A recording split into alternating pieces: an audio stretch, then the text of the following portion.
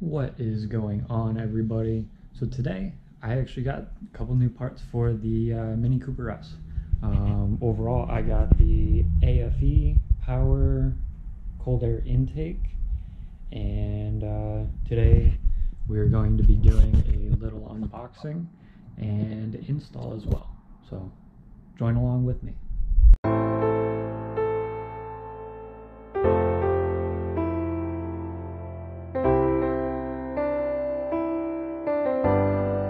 Now, as you see, it came in two boxes.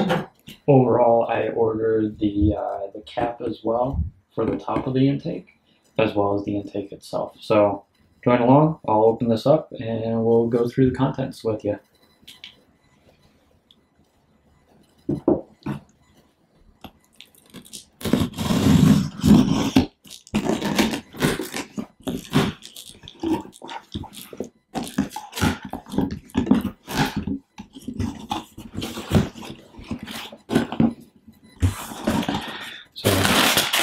So don't need that, don't need that.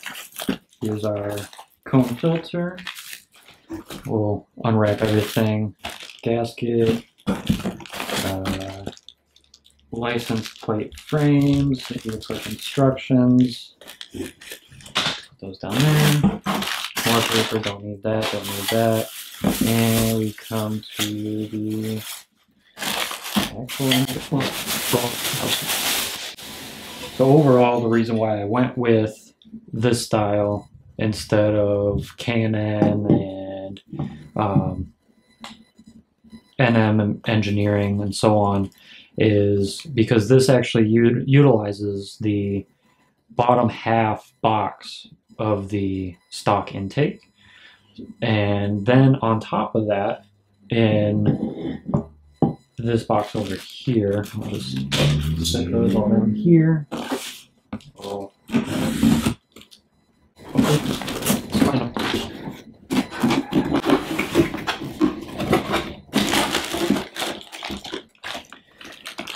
More instructions, hardware, and the uh, plastic cap the top. So, like I was saying, I went with this because overall it will actually, in the end, look like a stock intake right there. Instead, you're using the uh, a bigger cone filter at the end of the day for better airflow and so on. Um, there's our filter, and that's really about it. So in a little bit, I'll be uh, heading down to the car and actually installing this so you guys can see here and uh, feel that difference overall. So for install, you're going to need a T25 Torx bit and there's actually going to be three screw screws, one on the front, one on the side, on the right, and then one over on the left as well. Um, basically, just take those three out.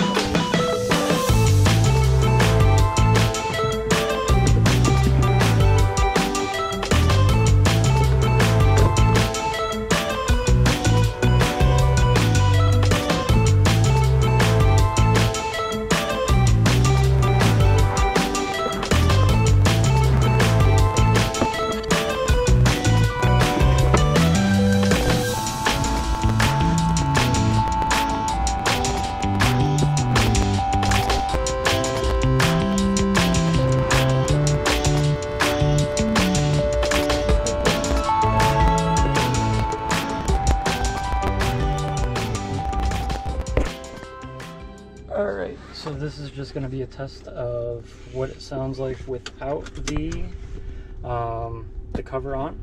So let's see what it sounds like. Alright, I'm, I'm already loving it. This sounds so awesome.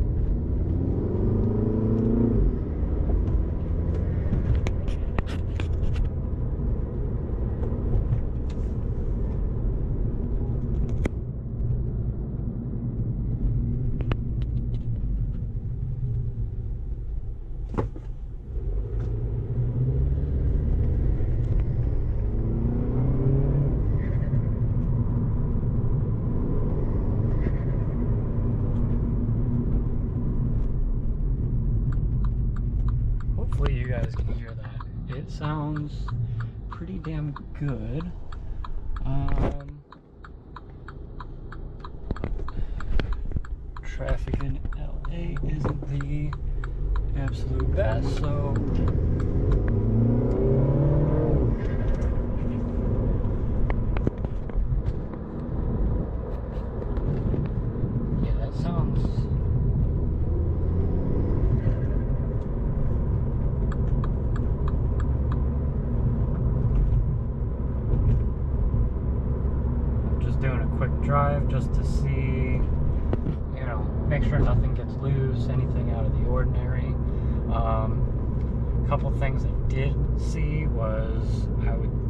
consider quality control on AFE side, where the um, uh, the screw holes for the um, for the mass airflow sensor is not the absolute best. So um, I, I would say be very careful on that. And then on top of that, um, the uh, um, the gasket that goes around the mass airflow, it, it, it's a very tight um, tight hole right there, and it's. Uh, it's uh, it's very um, I, I would say you're you follow the instructions overall and you're going to have to um, um, take the mass airflow sensor out of the original instead of just um, um, instead of just plugging it in and transferring it that way overall with you know the new intake in the in the uh, car. It's it's I would say much easier to actually install outside the car um, to get a couple hands in there. Now as far as butt dyno goes the I, I would say the torque the initial torque factor feels actually a lot um, a lot better truthfully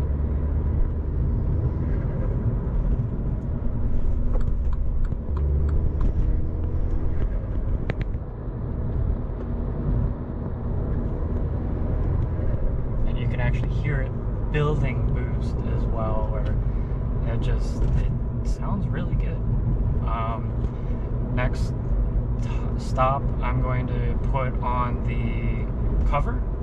And overall i'm just going to see what kind of difference that makes compared to no cover. Um, most likely i will be running a cover on there just so i'm not getting the full or at, least some hot, more hot air, because I know my minis definitely run a little on the warm side, especially under the hood. So um, I'd like to keep that on the on the downside. So well, we'll uh, catch back with you when I'm installing the, the cover, and we'll go from there. All right. So roll up the windows here. Um, so I put the cover back on, or not back on, but on in general, and it is a little bit quieter, in which, you know, especially you have somebody that um, borrows the car and doesn't care for excess noises or anything on that order. Um, I I think it's honestly, I think it's perfect, truthfully. Because, I mean, the main thing is you still have the noise. It's more pronounced than, um, than uh, stock, for sure. And, uh, yeah, it's, like I said, initially my, my only thing is going to be more so build quality of the intake itself. It honestly, it's not bad, truthfully, um, but they could have done a little bit better job on the screws that um, came with the intake itself. Um, like I said, they they acted like they were starting to strip on you, um, in which one of them I believe feels like it did. Um, which I mean, you would think that you would just put in just that little bit extra length of screw in there and you should be should be good to go. Um, after that really everything else um, went pretty smooth truthfully. Um, yeah. So other than that I will uh, get back to driving and showing uh, showing some sounds or maybe some sounds depending on how traffic is.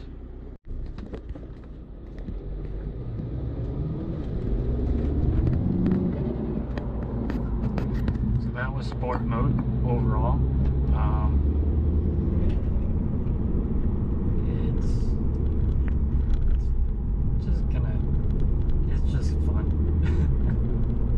now this is, this is technically my second um, car with a turbo, but really first fun one, truthfully.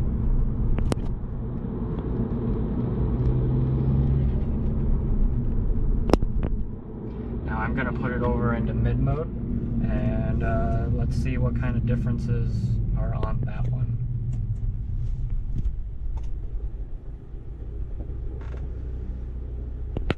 So, mid mode.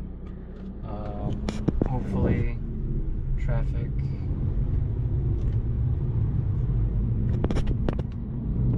Opens up a little bit where I can at least get into boost just that little bit but looks like it's not gonna happen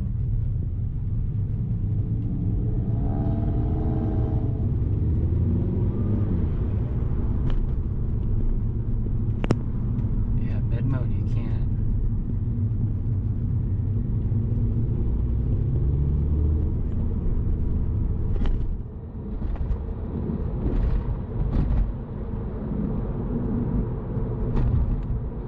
mid mode almost sounds stock, truthfully.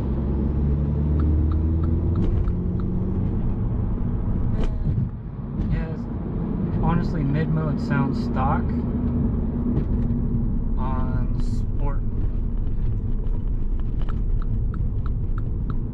So, and I'm cutting back over because people just let other people go, which LA traffic and everything, that's understandable. Yeah, mid mode definitely sounds like sport mode um, on the stock intake for sure. Um, you can hear it building up boost a, a bit more than than what stock was. Um, but yeah, I mean, to me, for me, I always drive in in sport sport mode. Um, but yeah, it's not It's not too bad for uh, for uh, mid mode. I don't think I don't think many people would truly notice that you've got um, something under the hood.